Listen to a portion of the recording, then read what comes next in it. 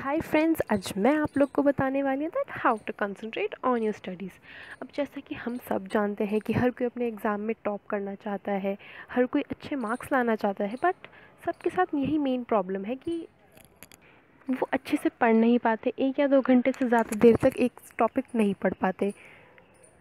इसका main reason होता है distraction no worry guys here is a video for you सबसे पहली चीज़ है फ्रेंड्स म्यूज़िक जी हाँ music according to Mozart's effect music सुनने से स्पेशल मेमोरी इम्प्रूव होती है।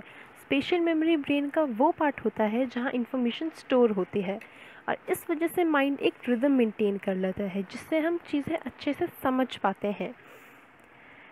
डिप्रेशन और एंजाइटी भी म्यूज़िक से रिड्यूस होती है।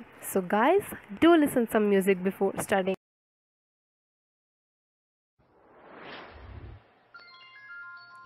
second है फ्रेंड्स नो सेल फ़ोन्स हम सब जानते हैं कि फ़ोन हाथ में आते ही हम म्यूज़िक या चैटिंग करना पसंद करते हैं, जिससे आराम से एक या दो घंटा वेस्ट हो जाता है।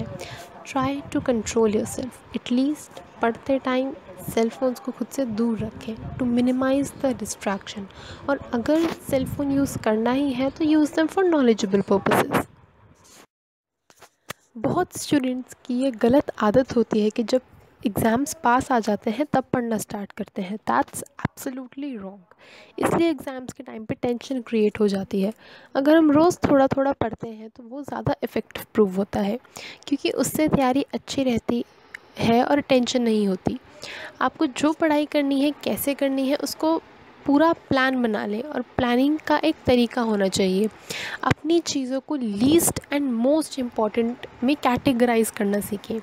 स्टडी प्लान करने का ये मतलब नहीं है कि आप पूरा दिन बैठ के एक ही टॉपिक को पढ़ते रहें।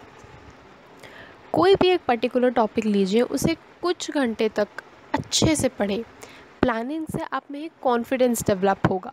और सबसे इंपॉर्टेंट बात friends no multitasking it increases the stress and decreases the creativity और फ्रेंड्स जहाँ हम पढ़ते हैं, वो रूम हमेशा वेल ऑर्गेनाइज रहना चाहिए ताकि आपको बार बार वहाँ से उठ के ना जाना पड़े, जिससे हमारी कंसंट्रेशन डिक्रीज़ होती है।